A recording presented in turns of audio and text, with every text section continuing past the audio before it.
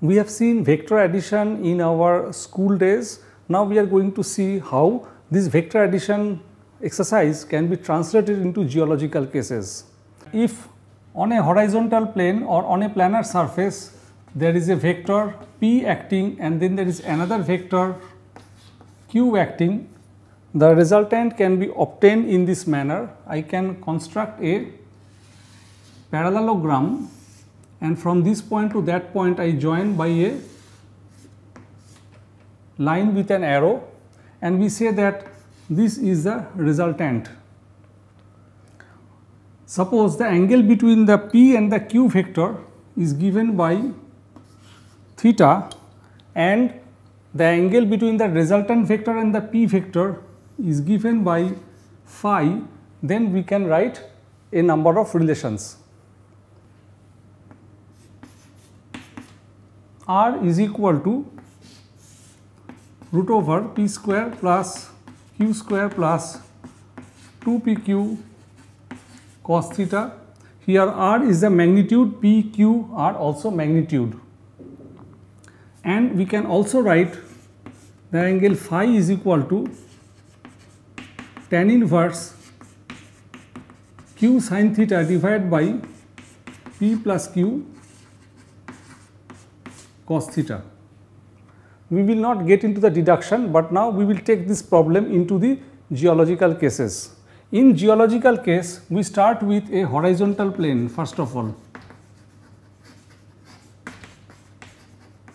That means assume that this green board is a horizontal plane and on that horizontal plane I can draw the north and south directions perpendicular to that will be the east and the west geographic directions.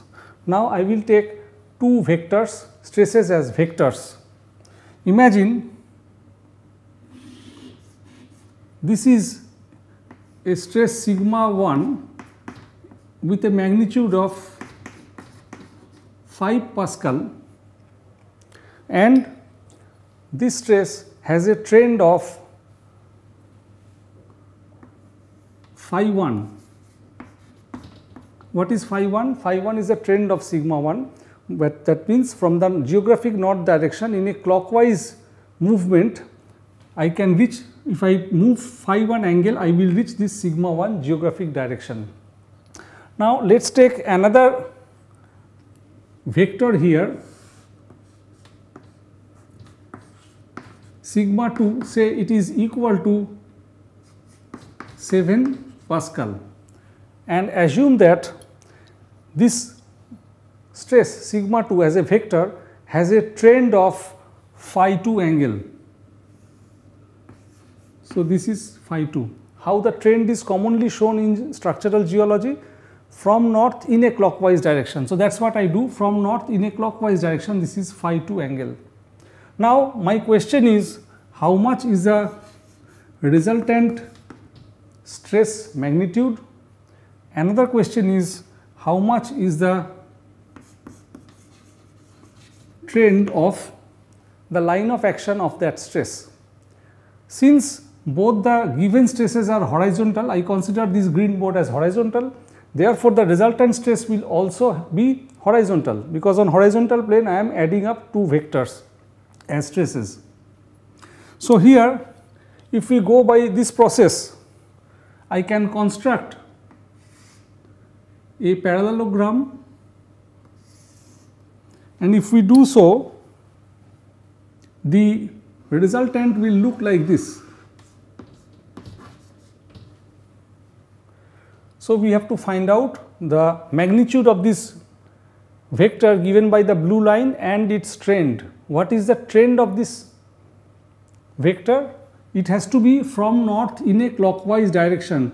So, this angle we are looking for and we can call say this angle is equal to phi 3 or better to call it phi r. We will see how to find them out. Now to compare this figure with that figure, note that theta is the angle between the vectors p and q. What is the angle between the sigma 1 and sigma 2? As per the diagram, it is equal to phi 2 minus phi 1. So, this phi 2 minus phi 1 is equivalent to theta of our school textbook diagram. So, it is equivalent to our theta in that diagram. Now, just like this vector is called p just to equate with this situation and that one I consider like sigma 2 I am considering like p and this sigma 1 vector I am considering considering like q so that I can link with the formula. Now the resultant R is given by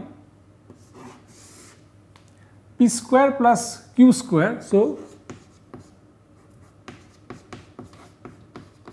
plus 2 pq that means 2 sigma 2 sigma 1 cos theta. Theta is equivalent to this. So therefore I write here phi 2 minus phi 1 and the angle phi what is the angle phi this is the angle between the resultant and the p vector. Here phi is given by tan inverse tan inverse q sin theta. What is q in my diagram? Sigma 1 sigma 1 I write this as theta. This theta I am talking here. Or I can write also as phi 2 minus phi 1 divided by p plus q cos theta. What is p? In my diagram I have taken sigma 2 as p. So, sigma 2 plus q cos theta. What is q? In my diagram sigma 1 is q cos phi 2 minus phi 1. So, this is our formula. When I give you problem sets, I will give you a problem similar to this so that you can solve that. So, from here you get the phi and the r value, but the problem is I want the phi r value, phi r is the trend and where is phi? Phi is the angle between p and the resultant. This is my p, that is the resultant, so this is my phi here. Now from the diagram I can see trend of R, this one we are trying is equal to what? From north clockwise how much I have to move to reach this, this line? The answer is this angle phi 2 minus phi. If I do phi 2 minus phi, I get this much of angle. So the answer is phi 2 minus phi. I repeat what is phi 2? Phi 2 is the trend of sigma 2 stress and what is phi? What I deduced here. So in this manner what will be the answer? This is my answer in terms of magnitude of stress and this is my answer in terms of the trend and what is the plunge as I told you since all work going on a horizontal plane. So therefore the plunge of capital R stress or I can call let us say sigma r stress the plunge is 0 degree it is horizontal. The problem that I demonstrated you right now a little bit variation I will make and I will demonstrate how to solve it. Imagine on a horizontal plane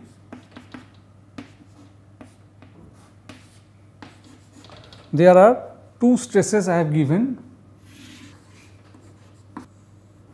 sigma 1 here and there is another stress which is acting which is sigma 2. Now look very carefully so this is the line of action of this stress and that is the line of action of that stress. So what is the fundamental difference from the previous problem? In the previous problem I showed two stresses are acting like this and you worked out the resultant stress but here one is in that direction. What change will happen because of that? So here this angle trend is phi 1 and this trend is phi 2. Phi 1 is the trend of line of action of sigma 1 measured clockwise from north direction and phi 2 is the trend of sigma 2 line of action measured clockwise from north direction this way. Our questions are how much is the resultant stress magnitude and what is the trend of the resultant stress. These are the two questions. So, here also since the two stresses are acting on a horizontal plane, their vector addition will also lie on a horizontal plane. So, sigma r will have a plunge equal to 0.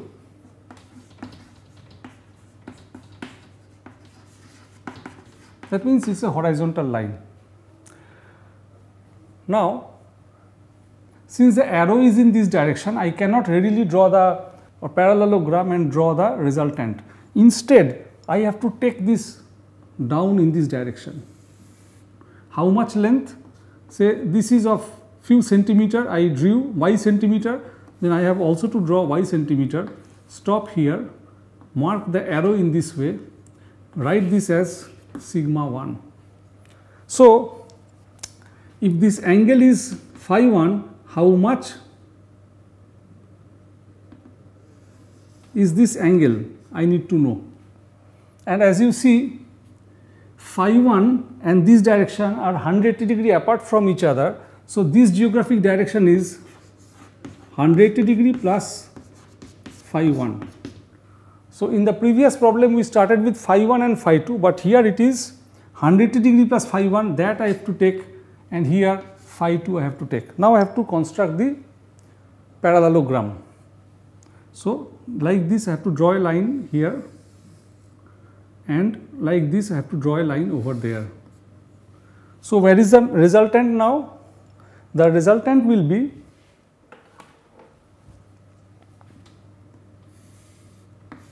So, you see the difference if you are not aware of this arrow direction you will put the resultant in that direction which is not at all the case the resultant is in this direction.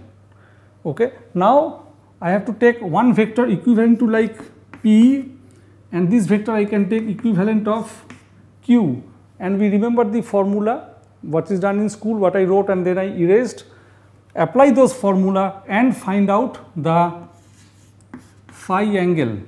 What will be the phi angle coming out from those formulae? This will be the angle. From P the resultant this is sigma r. So, this angle is going to be the phi angle. Recollect the diagram if I draw again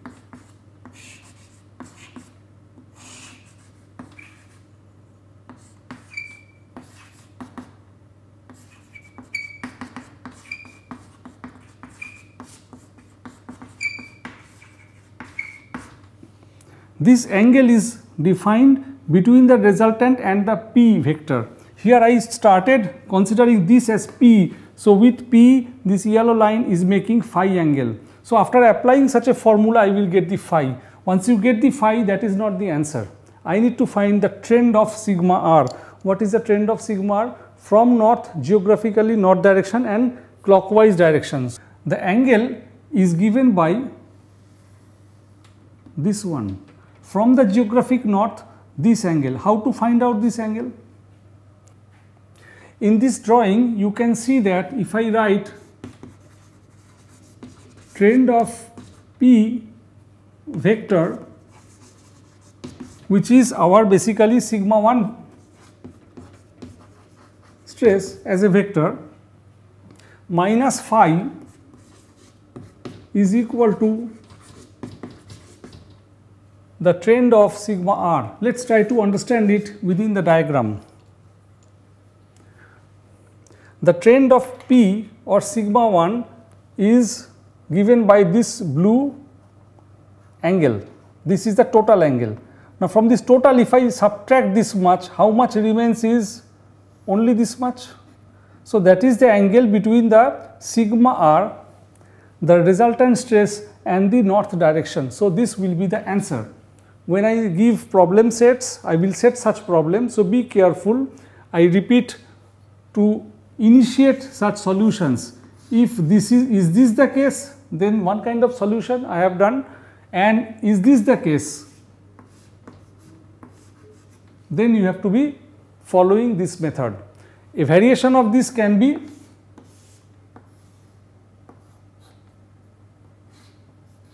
like this. In all these cases, these are the north-south directions. Needless to mention, this is the east-west direction. So, in this way, you have to be carefully solving how the stress can be added on a horizontal plane. But this is not all. What if the plane is inclined? Problems will start. We will see it now. Now, we will take a most general case when there are two lines of action of stresses in the space and the plane that contains these two lines is not horizontal. Previously, this was horizontal and things were easy and for this problem we will use stereo net. There can be other techniques also I might demonstrate later.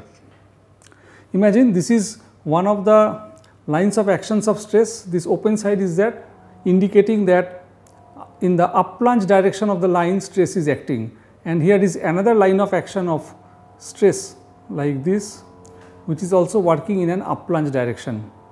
So, in this case the plane is here my hand and it is not horizontal. The resultant stress has to lie on the plane that contains these two lines right. So, let us see in stereo net now.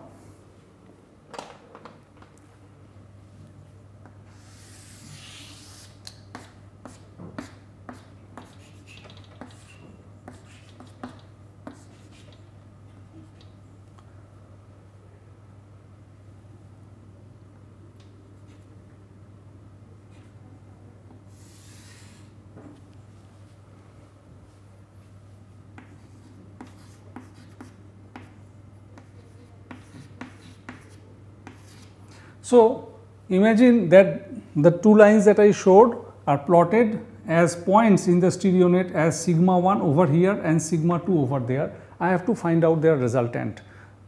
Our first work is to draw a great circle that contains these two points. How to do that? Keep the stereo net fixed and move the tracing sheet slowly so that you will find one great circle where sigma 1 and sigma 2 both fall in a single great circle. Draw that one and then match the north of the tracing sheet with the north of the stereo net so that it comes back to this position. So, what is this great circle indicating is the plane on which sigma 1 and sigma 2 will fall. A plane on which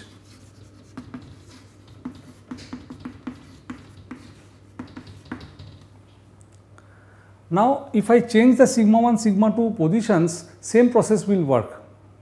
Okay and we can take some magnitudes. Say I am writing here sigma 1 equal to 5 Pascal, sigma 2 equal to 3.2 Pascal. And I stated that in both the cases the stress acts in the up plunge direction. And they act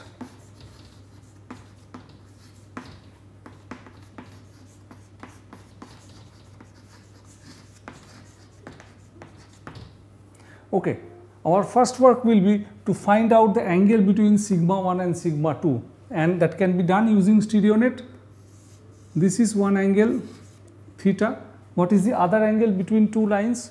Two lines intersect or two planes intersect at two angles theta and 180 degree minus theta. If this angle is theta, the other angle is 180 degree minus theta. A stereo net question comes where is 180 degree minus theta in this diagram? If I take this angle and I take this angle, I add them up, that becomes 180 degree minus theta. So that sum of them is equal to total great circle movement in this way and that is 180 degree.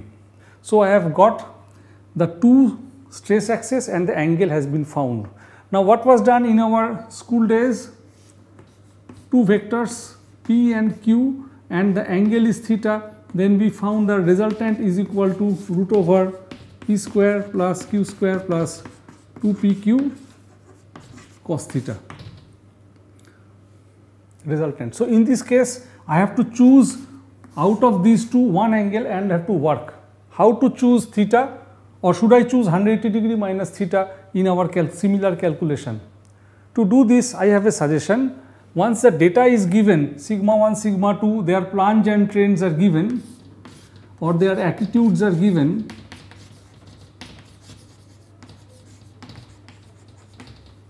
we can place two pencils or one pencil and one pen in that manner. Once we place the pen and pen and pencil in that manner, we can understand what is the angle, is this an acute angle or the obtuse angle. We can do it manually. For example, to explain further, say sigma 1 and sigma 2 has got this kind of values plunge and trend. I can give values that will match with this kind of diagram. This is north and it is here so, the this is the uh, trend is north and the plunge is let us say 22 in degree and what about this this is east so 90 this is south so 180 degree 100 120 130 so this is let us say 145 I just write a number. Here the trend is 145 and the plunge is this much let us say 12 degree. In degree at the plunge values. In trend this one is also in degree. So now how will I place a pen and pencil and try to understand their three, three dimensional orientation. Imagine this is the geographic north direction. Okay. If this is geographic north direction, how sigma 1 is oriented, I can orient this pencil. For example, its trend is towards north and it has plunge of 22 degree like this. From horizontal this is 22 degree, but the stress acts in up plunge direction. So, this is my orientation. I repeat this is geographic north okay, and this line is making 22 degree with the horizontal and the stress is acting in up plunge direction. Now, I will take the sigma 2 and I have to orient it. If this is the north direction that is the south direction this is the east direction. It is not need not be the exact geographic direction. For that I need a clinometer. I am not considering that. I am considering this is the north. So, in that case that is the south direction, this is the east direction and 135, 145 will be between east and south somewhere here. Okay? And then it has a dip of 12 degree like this with horizontal it makes 12 degree. Now, I can clearly see in my diagram that this angle is the acute angle. So, between theta and 180 degree minus theta I have to choose the acute angle and as per this drawing this is not the acute angle rather sum of these two is the acute angle. So, as per this diagram as per this data set this is my acute angle I can call this as theta dash. This theta dash I have to use. So, from the drawing I can pick up this angle, that angle, sum up and call that as theta dash. Once theta dash is obtained, then I will write the resultant stress sigma r is equal to sigma 1 square plus sigma 2 square plus 2 sigma 1 sigma 2 cos theta dash. These magnitudes 5 and 3.2 I can put here. So, so also here I will use theta dash is sum of these two angles I will write once I do I get the magnitude of the resultant stress. Now what about the trend of sigma r? Our next target is sigma r's attitude. How to find out that? In this diagram that is how we oriented we understand that this will be the resultant stress because this is 1 and this is 2. I will take between these two one as the P another as the Q. Imagine I consider this like P vector and sigma 2 like Q vector then apply the formula phi equal to tan inverse Q sin theta by theta dash by P plus Q cos theta dash. P is like sigma 1, I will put the value, Q is like sigma 2, I will put 3.2, theta dash is what I explained right now. So, from here I will find the phi. What is phi? Phi is the angle as per your school drawings between P and R.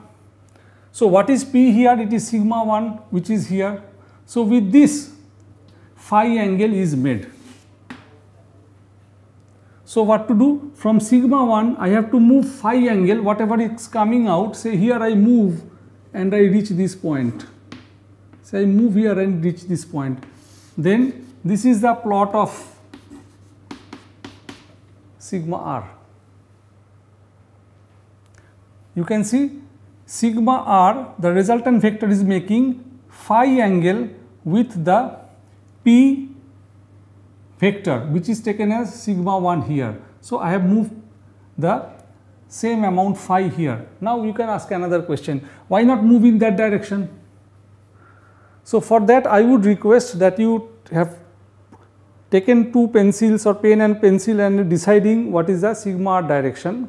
You can apply some logic here. Suppose I can plot in this direction also phi amount and get some plot which one is more logical by orienting the pen and pencil you can decide and choose one answer. So, in this way when the two lines of actions of stresses are there in the space and the plane that contains them is not horizontal then also using stereo net we can solve it. There is another process of solving it which I will be also explaining.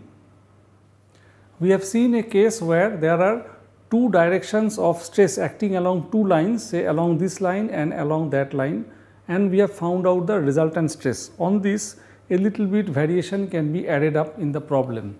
Imagine there is a stress sigma 1 this is the magnitude and that has a plunge of theta 1 and a trend of phi, phi 1 and there is a stress sigma 2 that has a plunge of theta 2 and a trend of phi 2. So, this is the magnitude.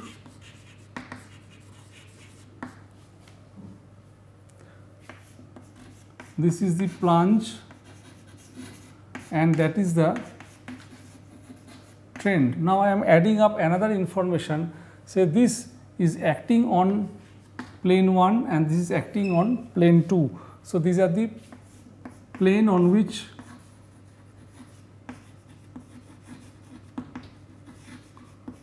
sigma acts and these planes have got some areas A1 and A2. What are A1 and A2? A1 and A2 are these are basically areas of planes 1 and 2. Now my question is how much is the resultant stress in that case acting on plane 3 having an area A3 and this is the question how much is the magnitude, how much is the plunge and how much is the trend. So, how do we solve it? Here we cannot follow the process that we have done so far. We have to find out how much is the force acting in such case on plane A1. So, from here find out the F1 magnitude. We know that stress is equal to force per unit area. So, in this case sigma 1 equal to F1 per unit area. So, from here we can say F1 equal to sigma 1 A1 basically you have to multiply this magnitude with that magnitude and write down F1 equal to similarly for sigma 2 stress basically you have to write here sigma 2 A2. Now what we were demonstrating with pens and making sketches instead of stress consider these F1 and F2 values. Find out the resultant stress Fr and from Fr to get into the magnitude divide Fr by A3 the given area. What will come out is the magnitude of the sigma r.